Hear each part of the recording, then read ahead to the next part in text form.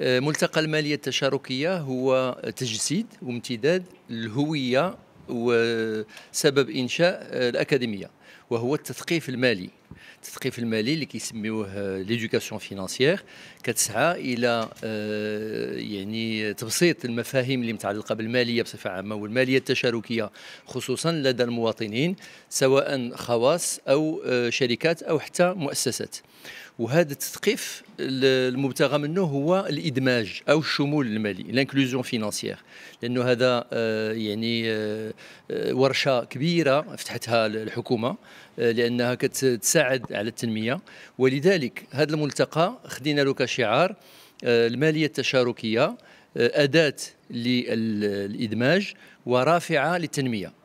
آه، إذا بقيتوا كتذكروا آه، في عام 2015 ملي خرج القانون ديال المصاريف التشاركية آه، الديباجة ديالو كانت كتسعى إلى انه هذا القطاع ديال المالية التشاركية يساهم في التنمية ويساهم في الإدماج المالي ويساهم في إدخال واحد المجموعة ديال الناس اللي كانوا هربانين من المنظومة المالية لأسباب عدة ومنها الأسباب آه، الاعتقادات والقناعات الشخصية ديالهم الدينية. ما كيتعاملوش مع البنوك وما كيتعاملوش مع شركات التأمين لقناعات آه، شرعية.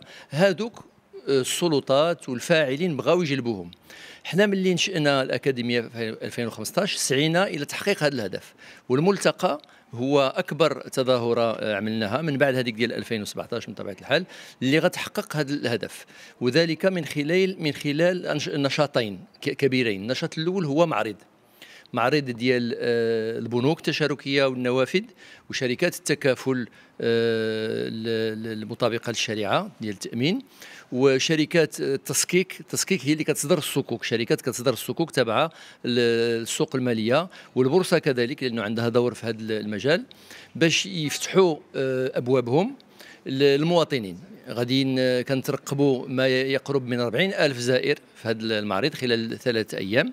وهذا الرقم حققناه في النشرة الأولى ديال 2017 وغادي يجيو يتلقاو هذوك البنوك يسمعوا العروض ديالها يقارنوا ما بين العروض آه، ديال كل بنك ويتعرفوا على المالية التشاركية. ولكن ربما كذلك يفتحوا حسابات وياخذوا تمويلات خاصة وأن البنوك والشركات التكافل اللي غتكون عارضة غادي تقدم عروض آه، امتيازية خلال هاد الثلاثه أيام.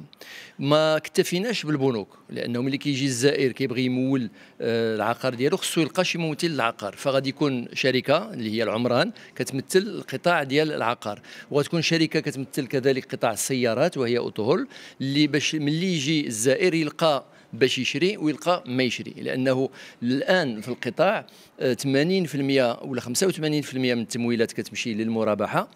وأغلبها 90% من ذاك 85% للعقار وبدات السيارات شوية كذلك كتحرك. بطبيعة الحال إلى جانب ذلك هناك آه، تمويل لأغراض آه، الشركات والمقاولات. ولذلك نعاود نرجع للملتقى. الهدف من الملتقى هو التركيز على المقاولات لأنه بغينا يكون واحد بغينا نساعدوا إحنا متواضعين غير نساعدوا البنوك والقطاع والمشرفين على القطاع باش يوقع واحد التحول من تمويل الخواص في العقار وفي شراء المسكن والسيارات إلى تمويل آه، المقاولة والشركات. فلذلك كاينة واحد الحصة خاصة آه، تحت إشراف la CGEM. الكونفدرالية العامة لشركات المغرب وإشراف الأكاديمية. وغادي يجيو فيها أعضاء la CGEM وغادي يجيو آه، أرباب البنوك والتكافل باش يتكلموا على ما تقدمه البنوك التشاركية وشركات التكافل وشركات التسكيك اللي كتصدر الصكوك للمقاولة وللشركة. وختاما كاين واحد الإشكالية آه، واقعة في القطاع الآن معروفة هو أنه الإقبال على التمويلات كان منقطع النظير.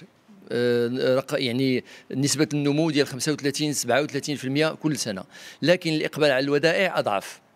والودائع كتشكل ثلث فقط من آه، مقدار التوظيفات آه، اللي هي التمويلات. هذا ما ما هيش وضعية عادية طبيعية. هذه ربما واحد يعني النقص خصنا البنوك يداركوه وهو نقص مرتبط بفتوة القطاع لأنه عاد بدأ.